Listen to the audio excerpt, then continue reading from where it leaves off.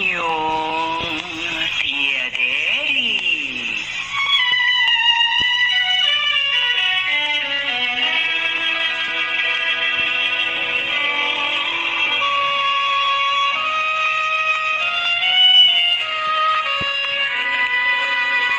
Kumusta, mga ginigiliw kong tagapakinig? Narito na naman po kami sa pagsasadula ng mga pangyayaring lumikha ng suliranin at bagabag na humitik at naging mahalagang bahagi ng buhay.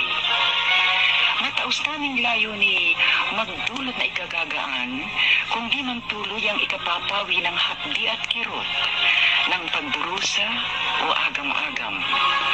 Sa huli, ako pong mag-uukol ng maikling panukala o kuro-kuro na sana'y makasiya sa may-ari ng salaysay, makaaliw sa marami, at kapulutan ng aral ng ibang ang isip ay hinilam ng nanghinang kalooban at nagkulang ng tiwala sa sariling kakayahang batiin ng pagsubok ng kapalaran. Ito po ang kasaysayan sa mga liham sa inyong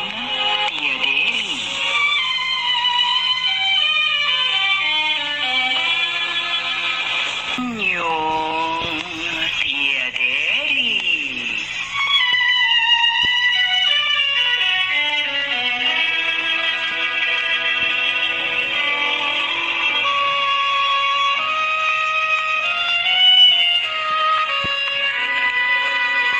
Kumusta, mga ginigiliw kong tagapakinig?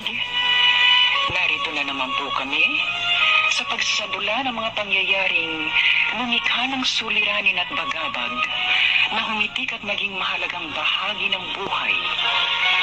Mataos naming layo ni magdulot na ikagagaan kung di man tuluyang ikapapawi ng hapdi at kirot ng pagdurusa o agam-agam.